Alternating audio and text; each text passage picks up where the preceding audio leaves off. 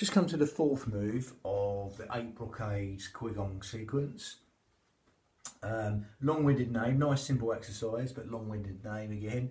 Um, again, looking back to eliminate the five fatigues and seven illnesses, or wise owl gazes backwards to eliminate fatigue. I've heard it called, called very similar names around about, or just wise owl gazes backwards is more suffice. Again, nice simple movement using the sternocleidomastoid muscle here. Um, again, if you want to go into it deeper, you can do with a deeper squat. Again, always give that option on that. Lovely one. So you're just going to go backwards and it's again, it's a nice one. It opens out the chest. It will use the rotor cuff slightly as you supinate the hands, keeping the shoulders down. Um, and again, you're going to be using the neck, this muscle here, the sternum muscle will be used as if you're sort of turning off a skewer.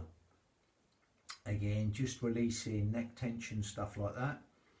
Um, yeah, and just basically helping the governing vessel and conception vessel. In Chinese medicine, they believe these to run up and down the spine.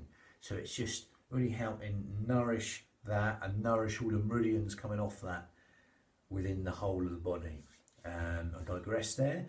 breathing's the same. Nice meditative breath, qigong breathing. Breathe near the belly button or the belly like a balloon filling that up like a balloon and then exhaling, letting go, increasing and decreasing that area, but not forcing anything. Nice, soft, sweet breath. Okay, again, nothing forced, just allowing that release of the inner resistance of the body with the breathing. Lovely. So go back and demonstrate this. Again, like I said, you can go in as deep as you like. So again, it can be just up here Again, nice simple motion. You just literally, on the in-breath, you're breathing in and then you're exhaling just to let go, to turn here. Breathing in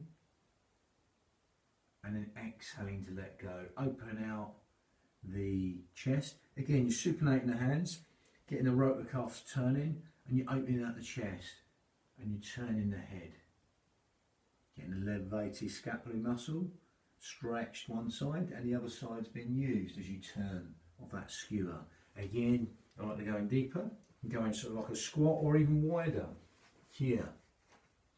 Again, feet facing the front or slightly out if you're wide. Again, it's up to you how deep you go in.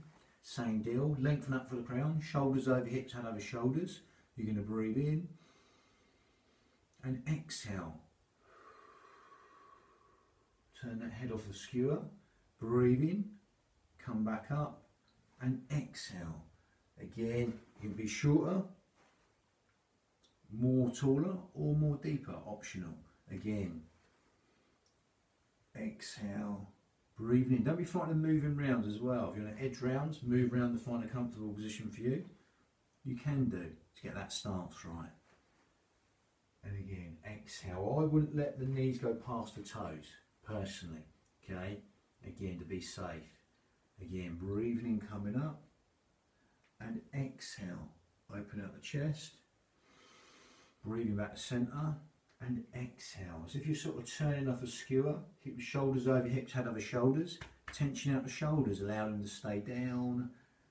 Exhale, and breathing in to the belly button or the belly like a balloon.